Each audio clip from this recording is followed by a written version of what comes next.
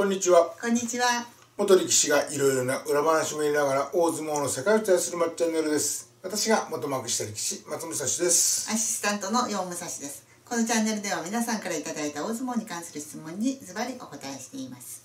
はい、本日の質問なんですけども、お願い若い者頭になる条件は何ですか、うんまた若い者頭の仕事は館内整備をしたり怪我人に肩を貸したり車椅子の用意や巡業の手伝いをするようですがそれ以外にはどんなことをしているんでしょうか？という質問なんですが、まずね若い者頭というのがこの番付にもね載っておりましてここですね。あそうですね。この親方衆の次のところに現在ね8人8人いらっしゃるっていうことなんですけども、私が入った時は、ほんそんぐらいいたんですかね。新女披露とかの時には、若い者頭の方がはい、いろいろこうしろ、ああしろ、こういう動きをしろっていうことでね、指導してくれてました。はそもそもその若い者頭というのは、親方ではないけども、まあ、親方にそうで呼んでるような存在い。まあそうですね。だからあのーはい部屋好きで、はいあの、所属はしてるんですけども、はいいもう教会の仕事をね、全般的に、あのーやられてますよね。そしたらそのどの部屋のっていうよりももう教会全体のことをっていうそうですねはい一応はそしたらどっかの部屋には所属所属してますねはいまあ関取じゃないとダメっていうわけではわけではないと思います。一人ね、はいあのー幕下の上位ぐらいですかね。はい、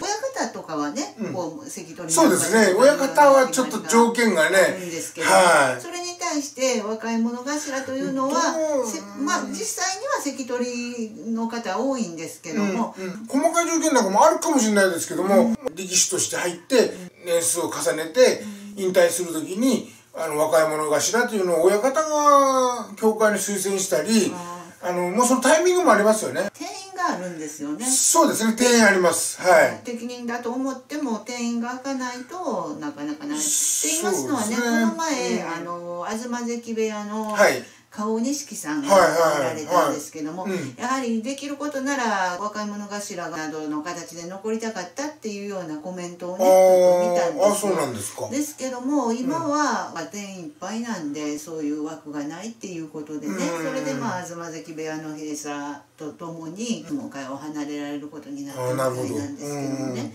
で今いらっしゃる若い者頭ちょっとピックアップしてみたんですが、白岩さん伊予桜さん琴千歳さん福野里さん花の国さん全身山さん栃の富士さん虎臼山さん。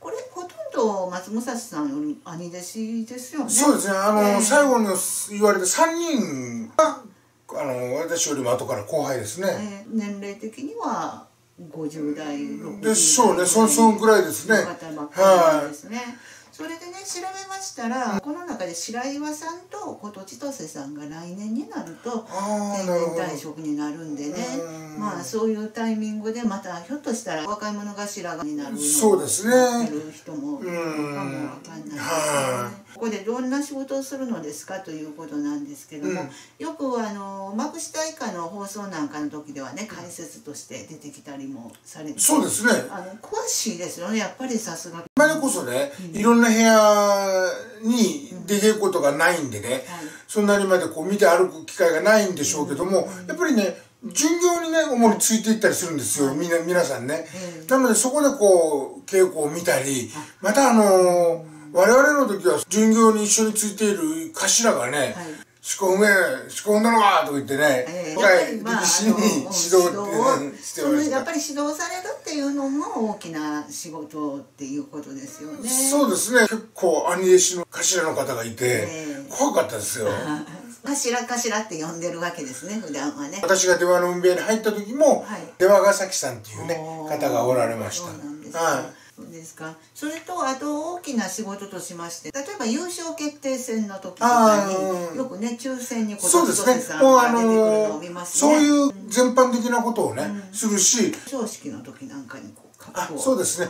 大体あれはもうあの優勝力士一門の頭の方が、こう土俵下でね、はい。次から次のあの受け取ったカップなんかをね、あの花道からどんどん下げていっていると思います。すか。はい。もう本場所始まって、一番からね、はい。あの土俵の周りに誰かがね座ってもう土俵なんかあの序六地であれ幕下であれ、関取であれ怪我はつきものなんでね。そうかあのよくね肩をかしたりとかあの車椅子持ってきたり、痛みを伴った力士とかには鼻水下がる時に声掛けしてるみたいですよ。そうん。そしたらまあ柱っていうのは普段から土俵の周りなんかで目を光らしたり。そうですね。なのであまの衛星放送を見ても、うんああ頭の人が座ってるっていうのがねすぐに分かるんですけども、まあ、それでねよくねあの若い者頭と同じように言われるのが、この世話人っていうことなんですけどもね、はいはいはい。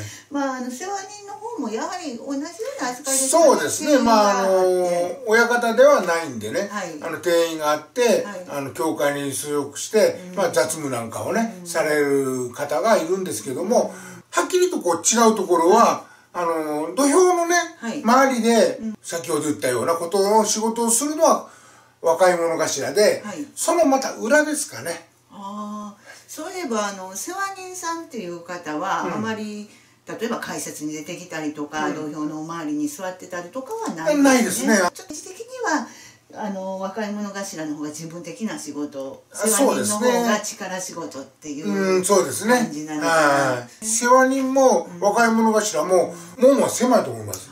あの、定員があるだけに。はいそしてやはり法制といいますかそういう部分もそうですね。親方が推薦したり、話を持っていってくれるんではないでしょうか。である程度の地位には上がってないとねそうですねはい。もうあの、やっぱりこう、親方師匠とかにも推薦されてななった以上は、もう定年まで続けていくって責任は結構ある仕事なんでね。ね。ねこう力士になってもねこうやっぱりこう残れるっていうのはほんの一握りでありがたいことそうですね。ね。うん。でもやっぱりそれなりに大変なお仕事だとは思います。はい。いかがでしたでしょうか？まあ、チャンネルでは皆さんからの質問をお待ちしております。ぜひお寄せください。本日もありがとうございました。また次回。さよなら。